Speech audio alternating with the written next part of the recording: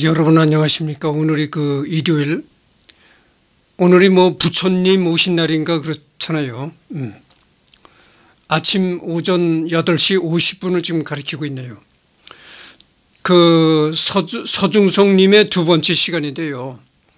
우선 그 서중성님을 얘기를 하려면은 좌파 역사학계 고두라고 했잖아요. 그래서 좌파라는 그런 게 붙습니다. 그런데 오늘날 한국은 말이죠.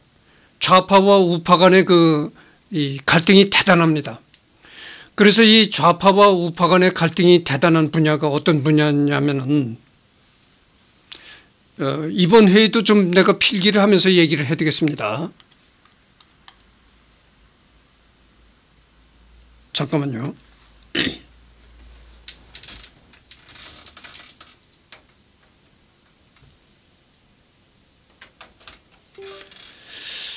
그래서 그 한국이 한국은 지금 그 좌파와 우파 간의 갈등이 심하거든요.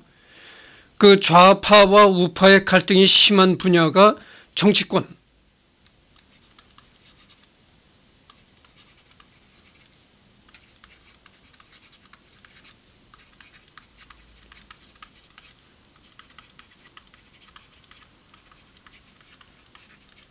첫째는 이 정치권입니다. 그래서 이제 그 어, 더불어민주당 더불어민주당은 이제 그 좌파 아, 아, 성향의 당이고 그 다음에 그 국민의힘 국민의힘은 이제 그 어, 우파 우파 성향의 당이라고 이렇게 할 수 있습니다. 그래서 이 좌우 갈등이 제일 심한 것이 정치권이고 두 번째가 이 역사학계입니다. 이 역사학계에서도 좌우 갈등이 굉장히 심합니다. 그래서 역사학계에서 좌우 갈등이 심한 분야가 전번 시간에 얘기했지만 어, 단군.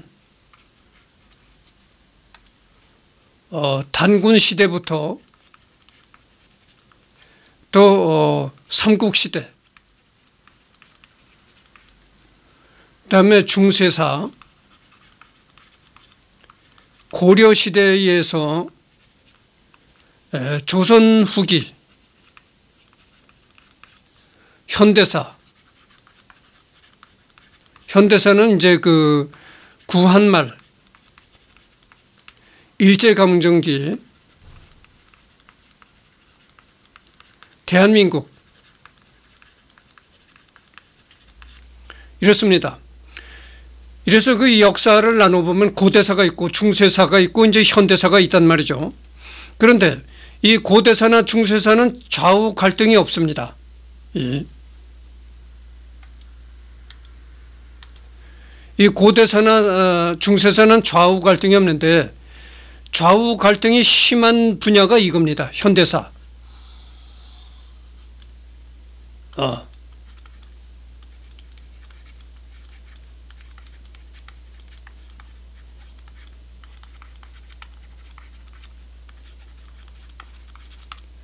이것이 이제 좌우 갈등이 심한 역사입니다. 그러면 어, 이런 좌우 갈등이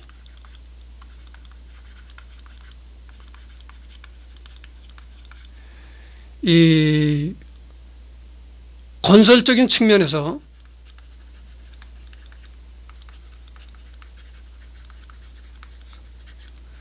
대한민국의 국격을 높이는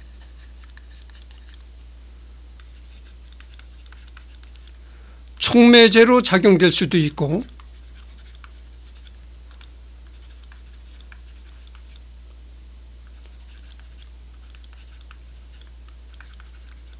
아니면 대한민국의 국격을 낮추는 부정 요소로도 작용될 수 있다.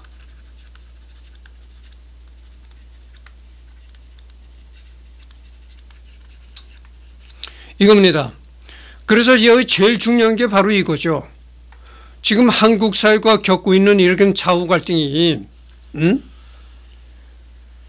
정말 잘못돼 가지고 이 대한민국의 국격을 어, 낮추는 그런 그 어, 부정적으로 부정적인 요소로 작용될 수도 있고 아니면 이런 좌우 갈등을 잘 이렇게 융합하고 이러면은 오히려 이런 갈등이 대한민국의 국격을 높이는 어, 촉매제로도 작용될 수 있다. 이런 얘기를 내가 이 시간에 에, 여러분들한테 하고 싶은 겁니다. 하여튼 그 어, 대한민국이 지금 겪고 있는 상황이 좌우 갈등이 심합니다. 그래서 대한민국이 겪고 있는 좌우 갈등이 심한 분야가 바로 이 정치권. 그 다음에 그 어, 현대사 학계 바로 그거죠. 그런데 이, 이 서중성님은 이렇게 좌우, 좌우 갈등이 심한 현대사의 에, 중심에 서 있는 인물이다. 이런 말씀을 드리고요. 새로운 창을 열도록 하겠습니다. 그래서 좌우의 특징을 말이죠. 어저께도 내가 잠깐 그 얘기하다가 말았는데 빠진 부분이 있어요. 그래서 어제 그 어, 빠진 부분을 좀 더 보완하기 위해서 이제 어, 얘기를 계속 해 나가도록 하겠습니다.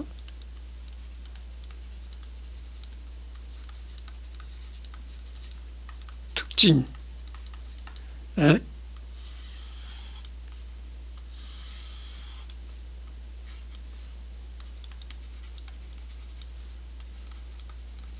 그렇단 말이죠. 여기에 이제 극좌. 여기에 이제 극우. 어가 있고 여기에 이제 중도파 가 있고 여기에 이제 중도 좌파가 있습니다. 예. 그러면 봅시다. 그래서 그 어저께 내가 얘기한 게 그겁니다. 이 이승만과 아, 이승만과 박정희를 비난하고 김구, 여운형, 그 다음에 조봉암, 조봉암을 높이 평가한다.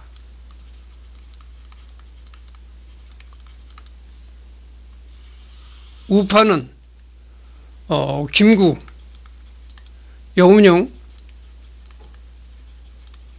조봉암을 비판하고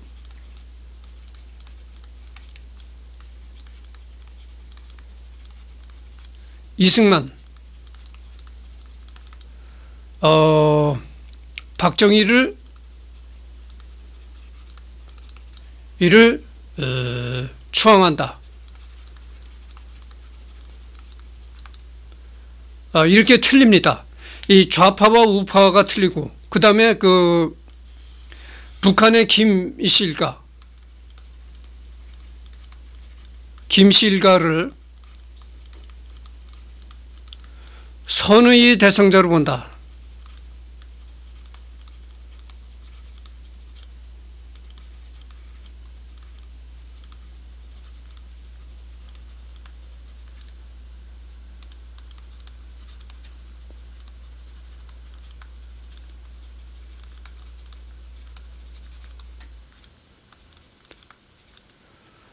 근데 이거는 그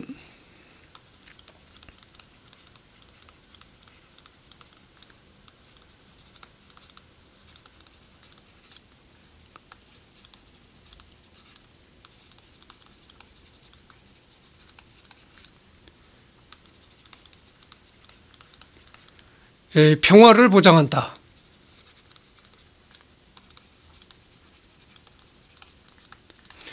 이렇게 시각이 틀린 겁니다. 그러니까 좌파는 이승만과 박정희를 비난하고 김구, 여운형, 조봉암을 높이 평가하죠. 근데 우파에 있는 우파의 특징은 뭐냐면은 김구, 여운형, 조봉암을 비판하고 이승만, 박정희를 추앙한다고죠.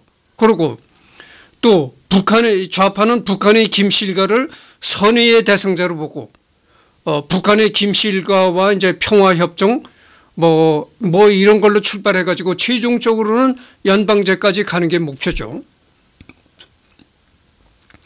그와 반면에 우파는 김씨 일가를 악으로 보는 겁니다. 악의 세계로, 악의 세력으로 보고 오로지 이 북한을 압도할 수 있는 강한 힘을 어, 갖는 것이 이 평화를 보장하는 길이다. 이렇게 생각을 하는 겁니다. 그러니까 완전히 이, 이 생각하는 면이 다른 것이죠. 좌파와 우파. 또 내가 얘기하겠습니다. 어, 좌파는 일본을 증오한다. 친일을 증오한다.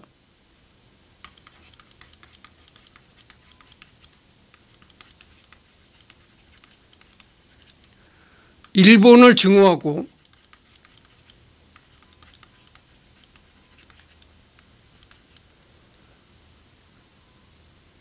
그러나 어, 김씨 일가와는 어, 좋게 지내려고 한다.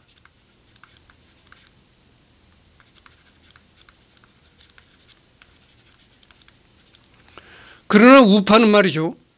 일본을 일본은 음, 일본은 우리와 같이 미래를 창조해야 할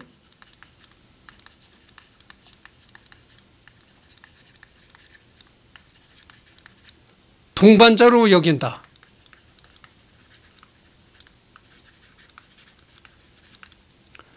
북한을 제압하기 위해서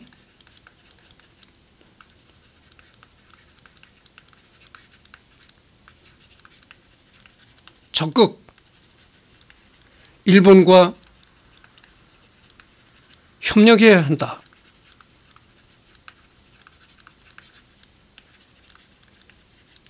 과거를 극복하고 미래는 일본과 같이 어, 어, 이렇게 이런 겁니다. 그래서 이 부분이 이 좌파와 우파가 그 이렇게 이 견해가 굉장히 그 중요하게 그 갈라지는 게 바로 이 부분입니다. 네. 그래서 내가 언젠가는 얘기 언젠가도 얘기한 적이 아마 있을 것입니다. 그 민족문제연구소에서 그 친일 인명사전을 발간했잖아요. 근데 그 친일 인명사전에 보면은 그 친일 한 사람의 인명 중에 박정희도 거기 기록이 됐어요. 박정희도 친일파다 이거죠. 음.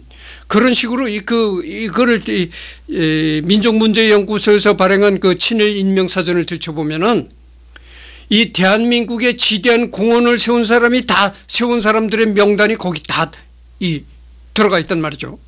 그러니까 이 좌파적인 성향을 가진 사람들은 어, 대한민국에 지대한 공원을 세운 인물들을 다 이 친일파로 매도한다고 하죠. 어, 그런 겁니다. 그래서 이 좌파적인 성향을 가진 사람은 일본을 굉장히 증오합니다. 어, 증오하고 일본과 가까이 지내서는 안 돼. 어, 일본은 과거에 우리나라를 침략했던 침략자야. 계속 이것을 강조를 하는 겁니다. 여러분 그 문재인 문재인 문재인 정권 시절에 문재인 대통령 아시잖아요. 문재인 대통령 그 임기 내내 일본과 어떤 그 이 큰식 갈등 구조가 있었잖아요. 친해지지 않으려고 합니다. 이 좌파들은 일본과 친해지지 않으려고 일본과 자꾸 거리를 두려고 하는 겁니다. 그래서 자꾸 뭐 어, 위안부 문제도 꺼내고 어, 과거의 니들이 어떻게 우리를 괴롭혔지 않느냐 자꾸 과거를 들춰내는 겁니다. 자꾸 과거를 들춰내 가지고 일본과 갈등을 벌이는 게 좌파들의 속성이다 그죠. 그와 반면에 우파는 과거는 이미 흘러간 것이다. 흘러간 노래를 우리는 자꾸 그 어? 되풀이하는 그런 어리석음을 범하지 말고 미래에는 우리는 전부 일본 일본과 우리는 가까워질 수밖에 없는 존재다. 거리가 가깝잖아요. 가까워질 수밖에 없는 이웃이다. 그러니까 일본과 우리가 가까이 지내가지고 북한의 북한과 이 중공의 공산 세력을 막아야 된다. 그래서 미래는 미래에는 우리가 과거에는 일본한테 그런 식민지를 받은 그런 경험도 있지만 과거만 자꾸 얽매이지 말고 미래는 우리가 일본과 여러 가지로 어, 동반자 관계를 맺고 그래가지고 북한과 중공을 어, 견제하는 그런 길로 가야 된다. 이것이 이 좌파와 우파의 심한 그 의견 차이가 여기서 벌어지는 겁니다. 음. 그래서 네, 또 새로운 페이지를 열도록 하겠습니다. 그래서 내가 그 네.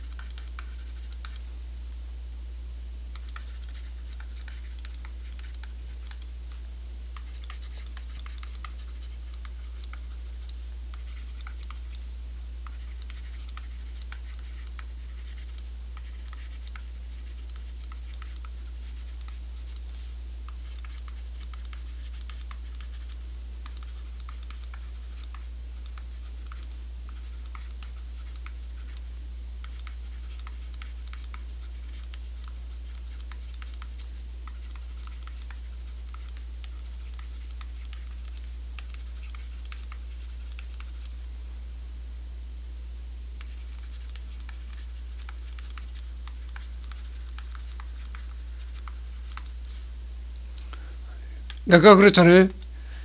지금은 그 서중석 좌파 역사학자를 얘기하는 시간이라 내가 서중석 좌파, 좌파 역사학자 얘기를 하니까 나를 좌파라고 오해하지 말라 이런 얘기를 한 적이 있습니다. 그래서 나는 비록 그 어, 좌파 역사학자 서중석님을 얘기를 하지만은 나는 좌파가 아니다. 이런 것을 이 여기서 지금 내가 강조하고 싶은 겁니다. 그래서 나는 그 우파적인 속성을 갖고 있는 중도 우파적인 사람이라서 이 말에 이런 생각에 굉장히 내가 찬성을 합니다. 우리가 어?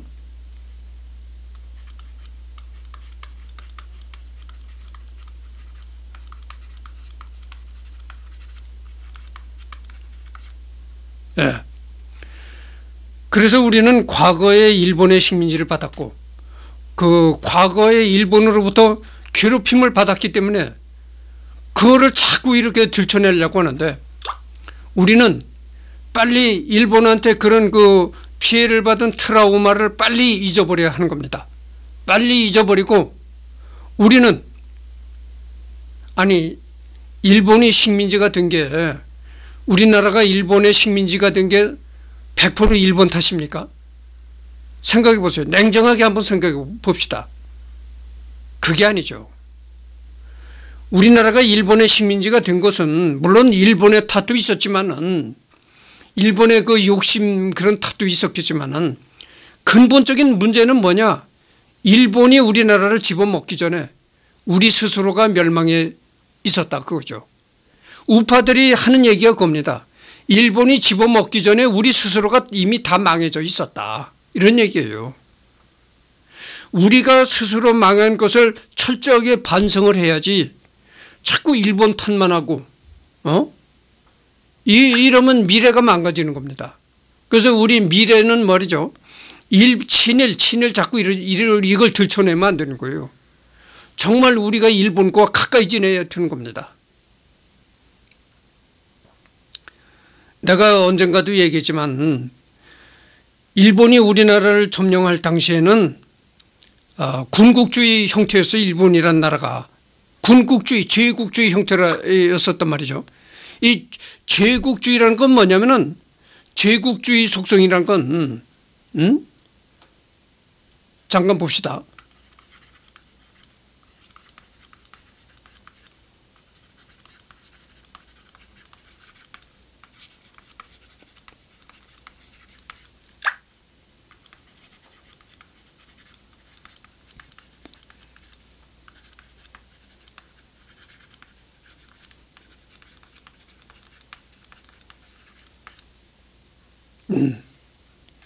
그래서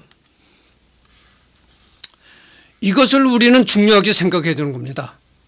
과거 일본이 우리나라를 점령할 당시에는 일본이 제국주의, 군국주의 나라였습니다. 이 제국주의 속성이라는 것은 이 제국주의 속성이라는 것은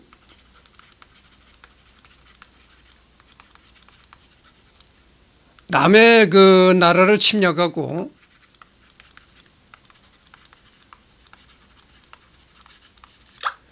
정복욕을 어, 드러내는 속성이 있습니다. 예? 남의 나라를 침략하고 정복욕을 정복욕을 드러내는 속성이 있다. 과거에 일본이 이렇게 제국주의 군국주의였을 때 우리나라를 이렇게 그 점령했던 것입니다. 그러나 지금 현재는 제국주의 군국주의가 아니잖아요. 어? 현재 일본은 고도화된 민주주의 국가입니다. 여러분들 이걸 아셔야 돼요. 이걸 중요시 여겨야 되는 겁니다. 일본은 우리와 가치를 공유할 수 있는 고도의 민주국가입니다. 음? 오히려 오히려 북한의 김정은이보다 우리가 그 일본과 가까워질 수 있는 그런 그 우리가 가치를 공유할 수 있는 나라가 바로 일본이에요. 여러분 그 우파들은 우파들은 자꾸 내가 다른 페이지를 열어보도록 하겠습니다. 음, 좌파들은 좌파들은 이 북한과 자꾸 가깝게 지내려고 하고 일본을 멀리한다고 하죠. 근데 왜 좌파들이 북한과 가까, 가까이 지내려고 하느냐? 물론 북한과 가까이 지내다 보면은 북한과 가까이 지내서 이제 뭐 하다 보면 통일의 길도 열릴 수 있고 뭐 이렇다고 해서 주장을 하겠지만 또 한편으로 보면 왜 북한과 가까이 지내려고 하느냐. 북한과는 한 핏줄을 가진 같은 민족이다. 이런 점 때문에도 그 좌파 사람들이 그러는 겁니다. 그런데 어? 내가 여기에서 얘기하고 싶은 건 그겁니다.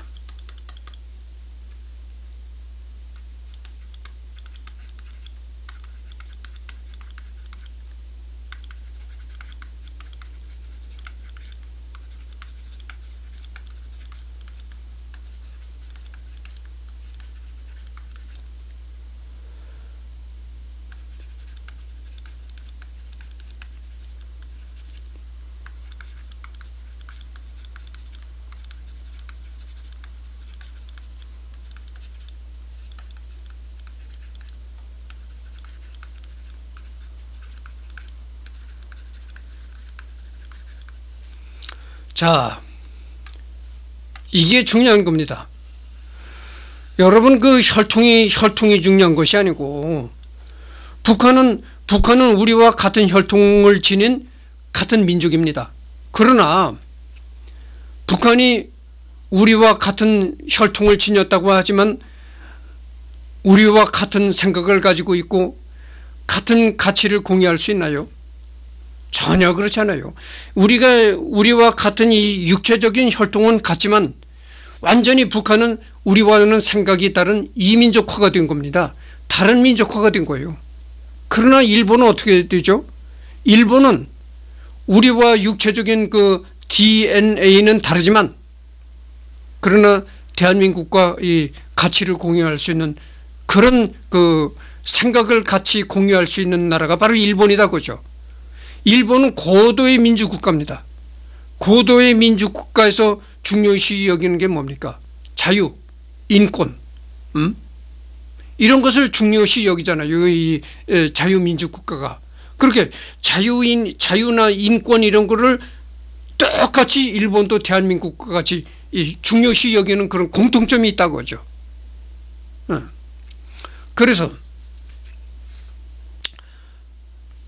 그래서 내가 하고 싶은 얘기가 바로 겁니다.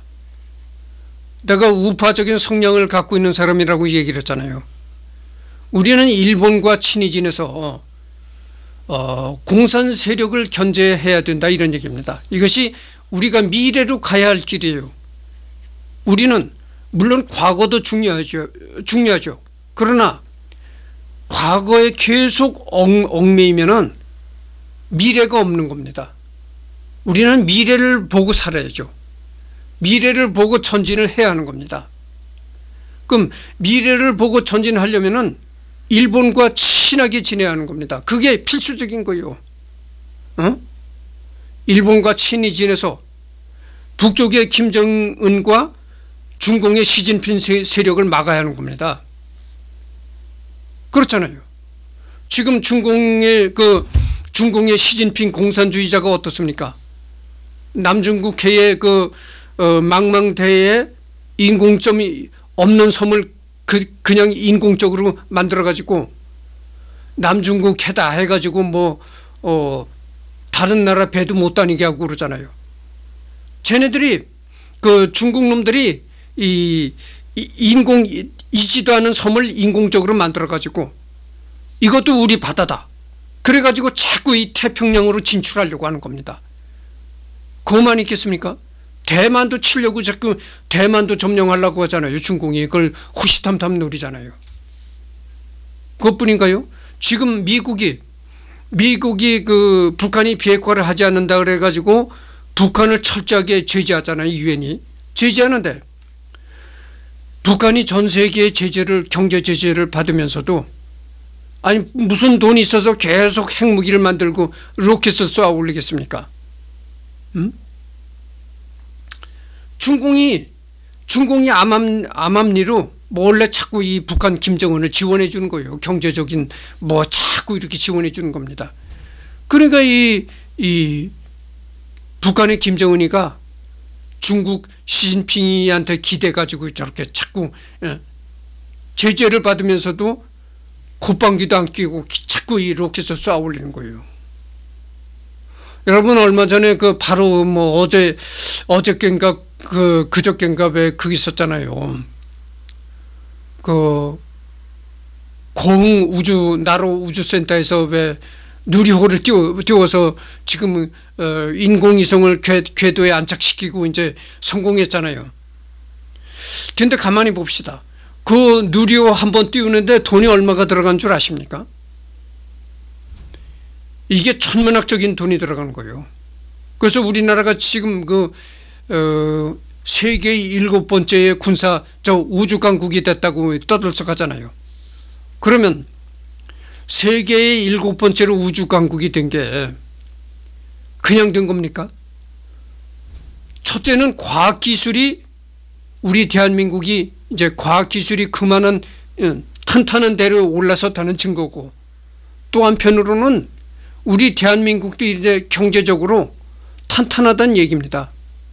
이 경제력이 탄탄한 경제력이 뒷받침돼야 우주로 쏘아 올릴 수 있는 것이지 아무리 과학기술이 발전된다 발전되었다 하더라도 이 경제적인 면이 뒷받침이 안 되면 우주로 뛰어 뛰, 쏘, 쏘아 올릴 수가 없는 거예요. 그거 한 번씩 이렇게 쏘아 올리는데 굉장한 돈이 많이 들어가는 겁니다. 이미, 이미 대한민국이 경제적으로도 그렇게 탄탄한 나라가 되었다 이런 증거입니다. 그게. 음. 이렇게 경제적으로 탄탄한 것이 뒷받침이 되니까 그런 쏘아 올릴 수가 있는 거예요. 이 경제력이 뒷받침 안 되면은 그걸 쏘아 올릴 수가 없는 겁니다.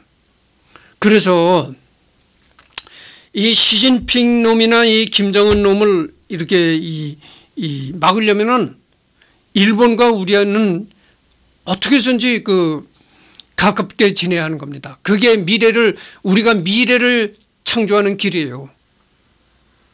그래서 일본이 지금 뭐 독도를 자기네 땅이라고 우기고 있는데 그 도, 독도 문제는 말이죠. 앞으로 우리가 일본과의 그 슬기롭게 풀어야 될 숙제입니다. 이 독도, 독도 문제 때문에 자꾸 일본과 갈등을 벌이는 그런 그, 어, 그런 데로 그 갈등을 벌이는 그런 형태로 나가서는 안 되고 이 독도 문제가 있기는 하지만 우리가 어떻게 해서든지 노력을 해서 그 독도 문제를 슬기로, 슬기롭게 우리가 풀어가야 된다 이런 얘기죠. 그래서 우리는 어떻게 해서든지 일본과 미래를 이렇게 창조해 나가야 될 그런 그 운명이 있는 것입니다. 그러니까 운명적으로 우리는 일본과 가까이 할 수밖에 없다 이런 얘기예요. 그래서 나는 그 철저하게 이렇게 우파적인 성향을 가진 사람이죠. 어. 중도 우파적인 성향을 갖고 있는데 그래서 어 이렇게 내가 우파적인 성향을 갖고 있긴 하지만 또 한편으로는 내가 좌파적인 사람들이 주장하는 게 옳다고 얘기하는 것도 있습니다. 내가 내가 성향이 중도 우파라고 했잖아요. 그래서 그렇습니다. 이 서중성님은 이승만 정권과 박정희 정권을 비난을 합니다. 비난을 하는데 이런 걸 생각해 볼 수가 있어요. 이승만과 이승만은 이제 4.19로 이승만 자유당 정권이 멸망을 했거든요. 박정희는 김재규 저격 사건으로 인해 가지고 유신이 몰락을 했습니다. 그러면 그 이승만 정권을 스톱시킨 게 4.19 사태고 4.19 의거고 그 다음에 박정희의 유신을 스톱시킨 게 김재규다 말이죠.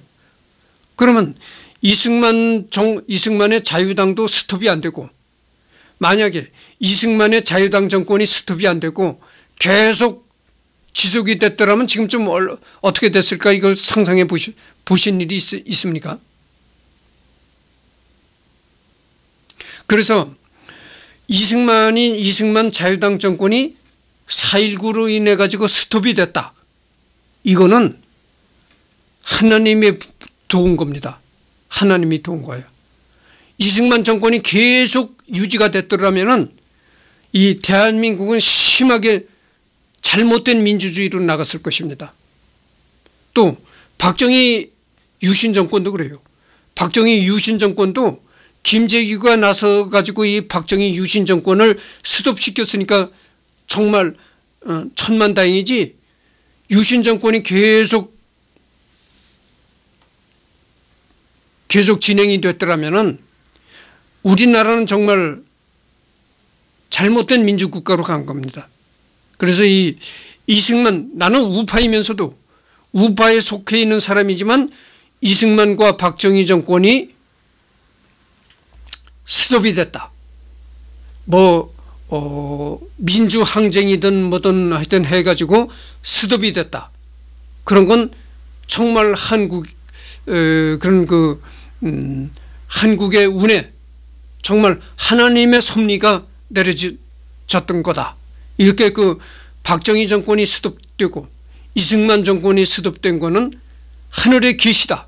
이렇게까지 나는 보는 겁니다. 그래서 오늘은 그이 서중성님의 얘기를 하기 전에 이렇게 좌파, 좌파, 우파 이런 얘기를 이제 했습니다. 왜 그러냐면은 이 좌파, 현재 우리나라가 처해 있는 상황이 그래요. 좌판이 우판이 이렇게 나눠가지고 이 두 진영 간의 갈등이 굉장히 이 대단한 겁니다. 그래서 내가 아까도 얘기했지만, 음? 봅시다.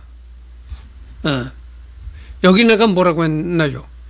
이런 좌우 갈등이 건설적인 측면에서 대한민국의 국격을 높이는 촉매제로도 작용, 촉매제로 작용할 수도 있고 아니면 대한민국을 국격을 낮추고 대한민국이 불행해지는 그런 부정 요소로도 작용될 수 있다 이런 얘기죠.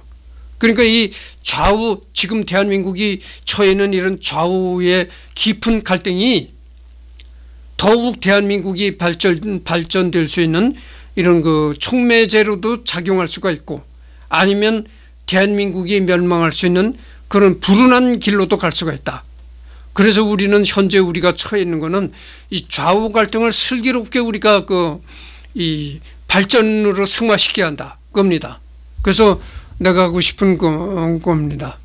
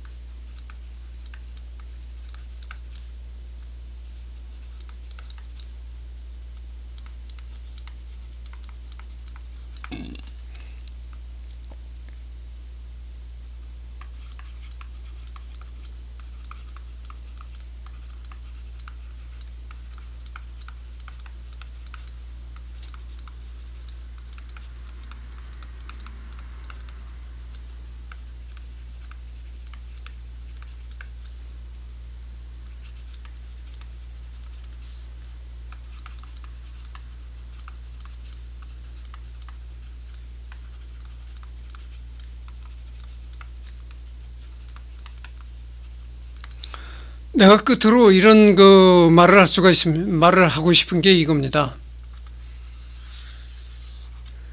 오늘날 이 대한민국이 처해 있는 이런 게 깊은 좌우 갈등이 대한민국을 파멸시키는 이런 역기능이 되는 것이 아니고 대한민국을 더욱 발전시키는 순기능으로 작용하기를 바란다. 그래서 우리는 이런 좌우 갈등이 더욱 순기능으로 작용할 수 있도록 우리 모두가 노력해야 한다. 이런 그 말을 하고 이번 그 서중성님의 두 번째 시간을 이제 마치도록 하겠습니다. 다음에는 그 서중성님의 세 번째 시간을 하도록 하겠습니다. 세 번째 시간은 이제 그 나무 위키에 올라온 서중성님의 여러 가지 얘기를 이제 reading 해보는 그런 시간을 갖도록 하고 맨 마지막에는 이제 서중성님이 집필한 책 서준 서중성 님이 이, 이 집필한 책을 리딩해 보는 그런 시간을 갖도록 하겠습니다. 그러면 이번 시간은 이것으로 마치고 다음 시간에는 나무 위키 백과사전에 올라온 서중성 님의 그 여러 가지 이, 이, 이 얘기를 리딩해 보도록 하겠습니다.